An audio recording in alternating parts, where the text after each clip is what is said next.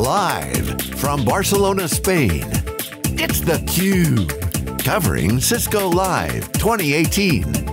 Brought to you by Cisco, Veeam, and theCUBE's ecosystem partners.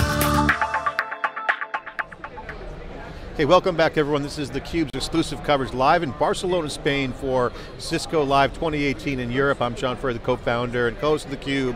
Uh, here all week, two days of live wall-to-wall -wall coverage in the DevNet zone, where all the actions, that's the biggest story at Cisco Live, is the impact of the DevNet and the developer network that's been growing leaps and bounds. Of course, we covered DevNet Create earlier uh, last year, which is a cloud native event, kind of bringing two communities together from Cisco, and of course, we can't talk about developers without talking about experiences that developers need and want and expect, and also you know, how to operate in those environments. We have two great guests, Mandy Whaley, who's been on before, CUBE alumni director of developer experiences at Cisco, and Tom Davies, who's the senior manager of the DevNet Sandbox. Welcome to theCUBE. Thank you. Great to see you again. Yeah, good so congratulations. Um, DevNet is again booming. It's the hot part of the show. It's one of the top stories yes. here in Barcelona. The, it's been great. Our workshops where we're doing the hands-on coding have been extremely full, even early in the morning and late into the evening.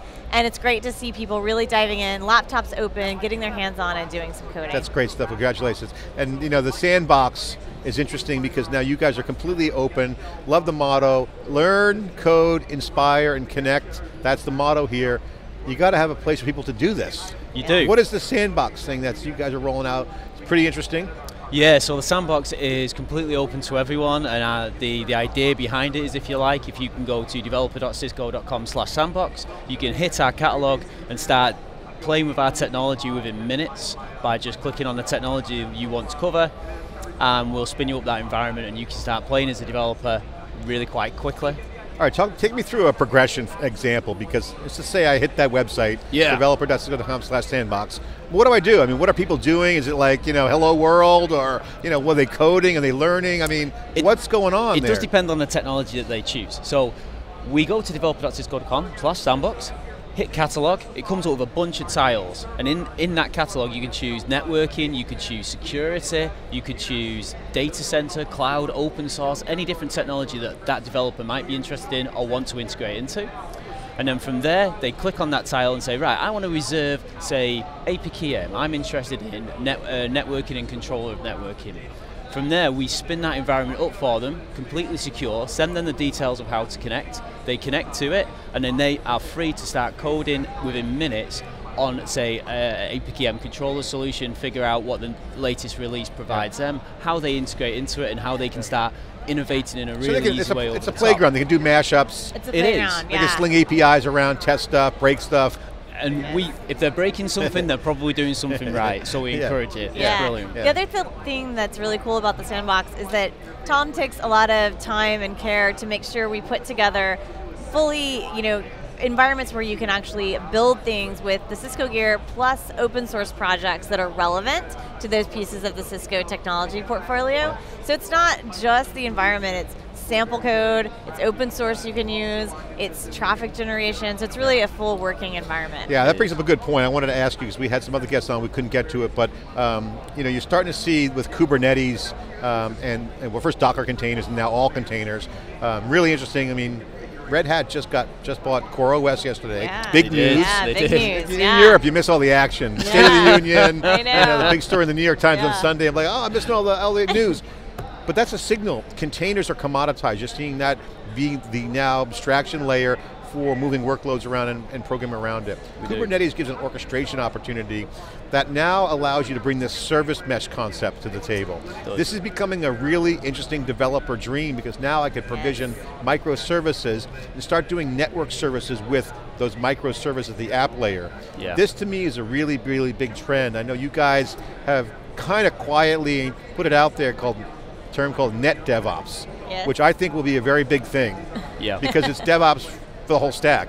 That's right. But yeah. really using the network more. So for the people who are power users of network services, this could become a very big DevOps movement. Yes, yes. Can you explain this concept of the net DevOps? And Does that relate to like Istio and some of the, some of the service mesh stuff out there? What's your Yeah. Do you want to start with service mesh and then I'll dive into the the, the, the lower parts or We yeah. can do. Go Let's for it. in. Yeah. Share So, share the yeah, Yeah, so sure. the term service mesh is actually fairly new, and it's coming because as people use microservices more, they're understanding that they just proliferate like crazy, and it's actually really quite hard to understand which microservices talking to which microservices. Are they doing it securely? Are they within policy? Are they talking to the right thing? And that's where Istio comes in. Uh, it's really um, providing a, a proxy for that traffic so you can easily talk between microservice A and microservice B, understand it, see observability between that traffic, and then control that traffic. And Istio is taking the, the, the really the abstraction away and taking the pain away from Well, that just talk about the quantify that time savings because I mean, this is like I think this really kind of was the minds get blown. You just that example you just laid out. Without that, what would you have to do? I'd have to build a proxy. I'd have to test it. You do. I mean, Yeah. just take me through the comparisons A to B, well, real quick. Normally, when you have a microservice, you probably have about 15 other services around it, or like a, if you had a ton of microservices, you probably have a diff- 15 different sub-serving services around it.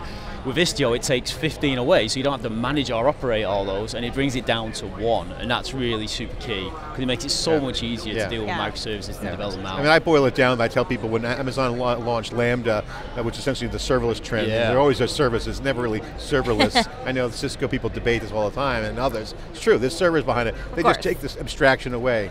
They're really enabling this notion of a mindset for the developer, where this gets into the user experience, user Right. expectation. Yes. If I want infrastructure as a code and I don't want to dive into the network services, I want the one, not the 15 to deal with. yeah. Right. I'm essentially programming the infrastructure at that point. So this is a big effing deal. This It is, is. a big deal. And then even what we're seeing is that the the expectations are set by DevOps practices. And now that our network devices are opening up APIs and we have the really strong um, assurance and analytics pieces that we saw in the Cisco keynotes, we can extend those DevOps concepts to managing network devices. So something very traditional networking test like add a VLAN. Let's say you want to do that, but you want to do that in a network as code manner. So you want to take that through a build pipeline, something that would be familiar to a developer or someone who manages their infrastructure in a DevOps way. But now you can do it for a networking device. And you can take it through build and test just like you would code. And all of your network configurations are, are source controlled, so you have your version control around it. And that's a, that's a big mind shift for the network developers. But in DevNet, we have the application developers, the ops engineers, and the networkers. And what we're trying to do is share those practices across because that's the only way we'll get to the scale, the consistency, the level of automation that we need. All right, so here's a question for you guys, put you on the spot. DevOps has been great, it's going mainstream. Some are called cloud Yeah. ops, whatever, but DevOps is great, great movement. Yes. That's been going on for a while, you know, hey, Yep. you know, pat each other on the back. but DevOps means automation, Yes. right? Yes. And the old rule is if you have to do it twice, automate it. This scares people. So what is being automa- auto- automated away in the net DevOps model? So I I wouldn't know that it's being automated away, but the idea is that if we're managing infrastructure, traditionally you would do it in a sequential and manual way, right? But we need to do it in a parallel and automated way. And so moving towards that automation helps us do that. I think we see some network engineers who think I have to learn a lot of new skills to do this, and that is true. Um, but it's you don't have to be the level of an application developer who's writing applications to do some automation and scripting. And DevNet's really working to put the tools out there to Yeah. lead them down that path and, and get them moving in that direction. And it's also a little bit more, I mean, DevOps is definitely the automation and the tools. There's Yeah. also the culture of bringing Dev and Ops together. Um, so same thing happens there as well. Totally agree, and also the process as well, repeatability in what we're doing. So Yes. once you've done it one and that process Yeah. works for you, you can repeat that process Yeah. for the next set of configuration you're deploying. Yeah. It's interesting. definitely. Uh, slick. Rowan um, showed on stage the future titles of what it'll be like in 2030 or 2050, I forget Yes, which year it was. yes. Um, I joked, it should, says LinkedIn on that, might even be around, not might, might be around then either. um, but this is a new field, right? Yes. And, and successful companies, um, the ethos was hire the smartest person because the jobs that are coming haven't been invented yet, so there's no like experience there. So this kind of reminds me of what's going on with DevOps, where you know network guys, they're not dumb. I mean, they're smart, Super right? smart. So they, you know, Yeah. It used to be you were the rock star if you ran the network. That's right. Okay, now That's the rock right. stars are more the app developers and the developers on the DevOps side. So the it would be easy, and we're seeing that it's easy for those guys to jump in some- to some of these coding and or agile mindsets Yes. because they are gunslingers, they are rock stars. They are. It's Yeah. incredible how fast they are picking it up. I mean, they are the, just from ones that we've met from last year to this year who are here came to like a, their first coding class. This year they're here and they're like, oh yeah, I totally get this build pipeline. I'm doing this in my organization. We're seeing them pick it up incredibly fast. And so they obviously see a, a path to other jobs. What patterns are you guys seeing in terms of things that they're doing on the sandbox and or Yeah. some of the user expectations that they have as they're now fresh, young, or and you know Yeah. middle aged or old students Right. in the new world? What are some of the patterns? yeah. What are they kicking tires on? What's the, what are Oh. they gravitating towards?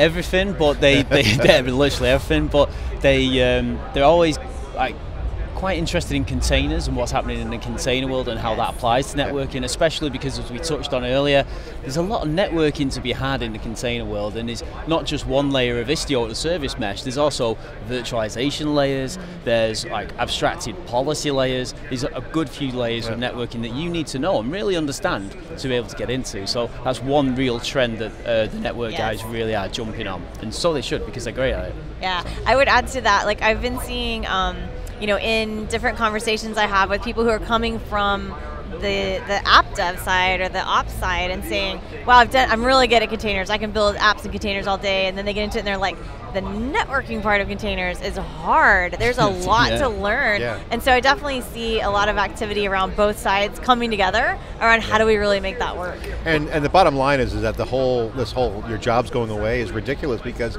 this really proves that there is so much job security in DevOps. It's, it's there's, ridiculous. There's more devices per engineer to be managed than ever before. Yeah, yeah. So it's really just you have to have the automation to even keep up. Yeah, right? I would, it's quite funny actually because I come from a very much a software-centric background, Yeah, and me too. networking to me was black magic. You had to know so much stuff in the networking world. It used to scare the hell out of me, and but I had to go down into the network layer to start understanding it to do a better job of software. Well, you was locked down. I mean, the you had perimeter-based security, You and you had very inflexible configuration management things. You Yeah. were really locked down. Now, Right. And we're agile seeing- and dynamic, Yeah. adaptive, and these Yeah. are the words that are described. And now add IoT to the mix. You guys have the black hat, you know, IoT Yeah. Yes. booth here, which is phenomenal. Yes. is only going to increase the edge of the network. Which is Definitely. new, not new to Cisco. Cisco knows the edge.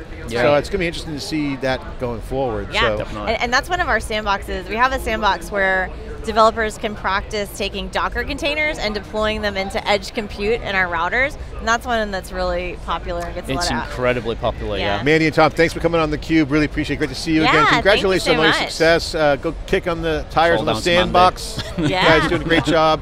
DevNet, developer network for Cisco here. And of course, DevNet created a separate small boutique event, small um, um, for the cloud native world.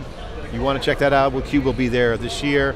This is the Cube Live coverage. I'm John Furrier. Stay tuned for more of day two, exclusive Cisco Live 2018 in Europe. We'll be right back.